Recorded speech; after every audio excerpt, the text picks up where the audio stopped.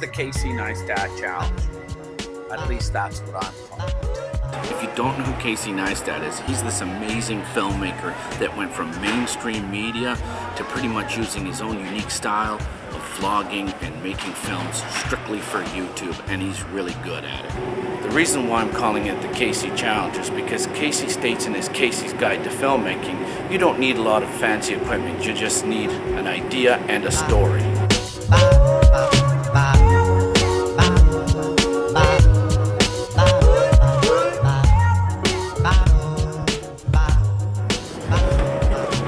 So I've challenged myself to make 26 videos this year. That's one every two weeks.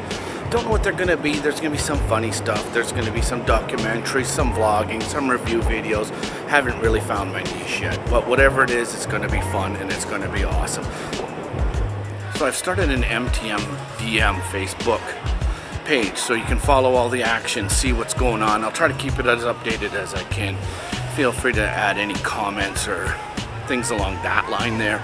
Or if you have any ideas or questions or you want to do some collaborations musically or video wise, yeah, just give me a contact. And please don't forget to subscribe to my YouTube channel and you won't miss any of the action.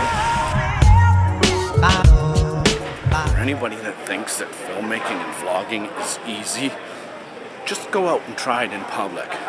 Try your cell phone, do whatever. It's not as easy as it thinks. Everybody looks at you like you're some freaking weirdo.